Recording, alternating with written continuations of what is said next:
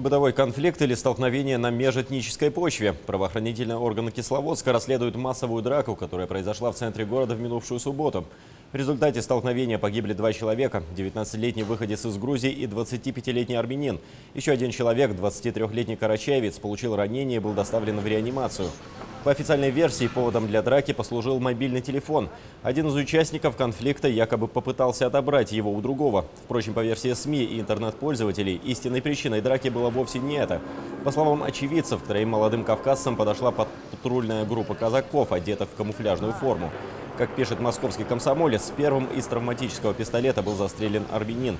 Грузину перерезали горло, карачаевцев пырнули ножом. По факту драки задержаны три человека.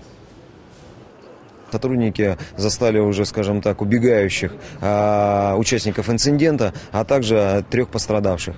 А, было организовано экстренное оказание медицинской помощи пострадавшим людям. Кроме того, а, случайно оказавшиеся на месте оперативные сотрудники предприняли удачную попытку по задержанию тех, кто пытался скрыться с места происшествия.